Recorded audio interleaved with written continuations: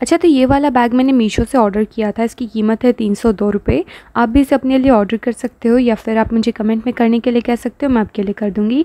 इसके ऊपर थ्रेड का काम किया हुआ है हार्डवेयर इसका गोल्ड का है, दिखने में बड़ा सुंदर लगता है, लेकिन उतना ज़्यादा स्टर्डी नहीं है लेट मी टेल यू उसको छूते ही समझ में आता है कि ज़रा ऐसा नाजुक सा बैग है।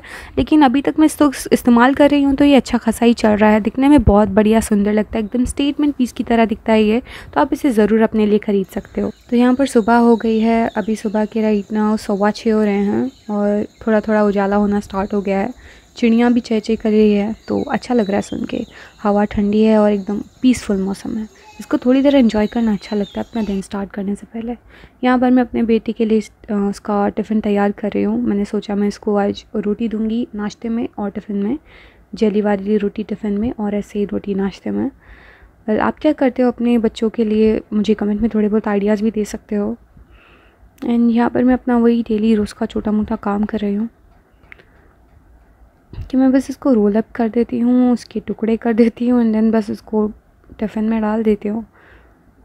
रोटी हेल्दी है तो अच्छा लगता है मतलब ऐसे कि हाँ थोड़ा बहुत शुगर तो जा रहा है पेट में but that's fine I guess I mean रोटी भी तो खा ही रहा है ना बच्चा साथ में।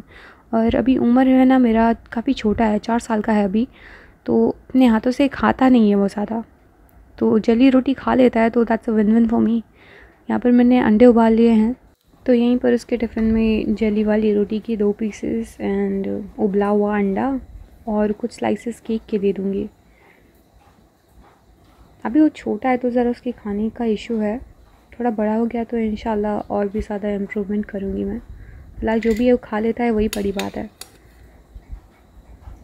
और यहाँ पर उसको नाश्ते में भी उबला हुआ अंडा रोटी के साथ में चाय दे रही हूँ व्यू को एंजॉय करते हुए।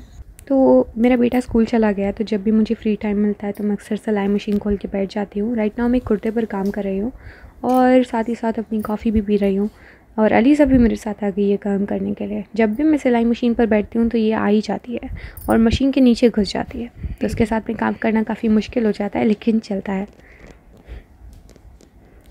तो मुझे थोड़ा सा ब्रेक तो लेना पड़ता ही है, लेकिन बीच बीच में हो जाता है काम थोड़ा बहुत करके।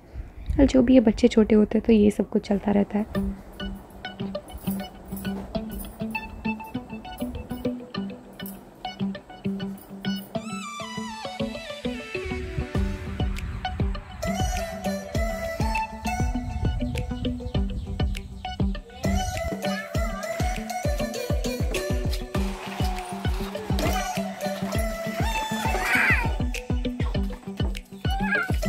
मुझे भी दो।